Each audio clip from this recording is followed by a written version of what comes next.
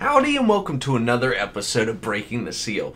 If you like the gift that keeps on giving, even though it's probably three months after Christmas, go ahead and hit the like button. And if you still like building gingerbread houses, go ahead and hit the subscribe button. Because Cinnamon Toast Crunch just cannot be stopped. They're still making these wild, wonderful cereals. In this case, the Gingerbread Toast Crunch Edition. Limited edition, I might add. And look at that. They got a wonderful little house going on. That's going to catch your attention. I mean, like, look at his mustache. My goodness. Let's flip that around back, and you can already start making your own little Gingerbread Toast Crunch village. Now, me personally, it's been a very long time since I built a gingerbread house. And when I have my gingerbread, I like it to be very gingery. I really love the flavor of ginger. So I don't know if we're gonna get that in this. If we do, this this might be a top contender for all-time cereals for me because I, I just love ginger. But you know what? Let's go ahead and pop this thing open. I'm I'm really excited about this. What is gonna happen when I put this in my mouth? Bag was a little difficult to open. That's alright we got our special cup here. The special cup of cereal in South Mountain Creamery. Go ahead and pour some of that out. Oh, man. All right, so, of course, it's Cinnamon Toast Crunch. So, you know what you're getting into. It looks like Cinnamon Toast Crunch, right? There's nothing new there. If anything, I guess you could argue it looks a little bit darker. Yeah, you could argue that looks just slightly darker than your typical Cinnamon Toast Crunch. It's a look, you know. So let's see what the dry taste test is okay. At first, I said this is just cinnamon toast crunch in my head, right? I gotta think it through as I'm going, and that's all it was was just cinnamon toast crunch.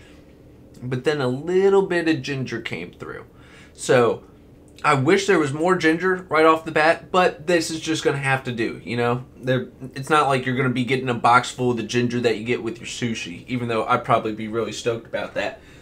But dry taste test this and everything. We gotta put some milk in there and only one kind of milk goes in this cup.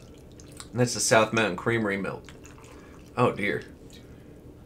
I'm running out. That's yikes. Well, that's sitting for a bit. I, like, seriously though, when's the last time any of y'all have built a gingerbread house? I think if I built a gingerbread house, I feel like the last time I built them, they all just taste like graham cracker, which is really underwhelming. I really want that ginger taste in my gingerbread. Now, the best part for me typically is just the icing and the gumdrops. You know, it's the only time I really see gumdrops and eat gumdrops is because of Christmas times, mm, building these gingerbread houses like this. You know, now I'm looking at this, the chimney. Okay, it doesn't really show up as much here, but if you look on the back, you can see the chimney here and that's the cinnamon toast crunch like little swirly dude uh, kind of looking it, it's their colorful theme I don't, I don't know what the colors mean but it reminds me of the tutti frutti fruit roll up is it tutti frutti fruit punch? I don't know. The rainbow fruit roll up is what that reminds me of.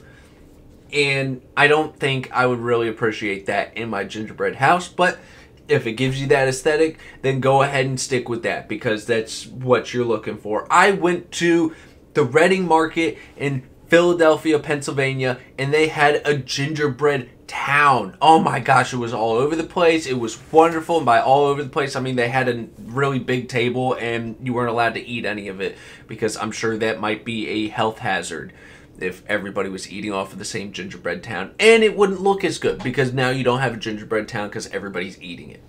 So let's go ahead and take a bite of this milked cereal. So the first bite I feel like is still lacking the gingerbread taste of it. I got it more while the cereal was dry. If anything, this has a lot of bread taste to it. I'm curious if the milk has taken away that ginger flavor we're going to have to give it another bite to really confirm. I got to say, I'm honestly disappointed with this cereal. The flavor really isn't coming through. It's more bread, maybe the slightest hint of ginger, but we are not getting any cinnamon. We're not getting any sweet. I mean, it really just feels like a muted cinnamon toast crunch. That's what it feels like. And if that's your bag, then go ahead and get it, you know?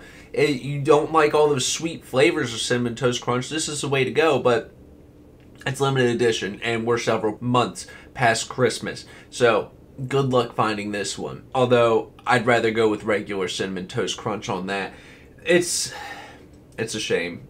They were doing so well. They were doing all kinds of things, and I think they just reached a little too far with this one. I think that's all I've got to say on this cereal, and I will see you all on the next one.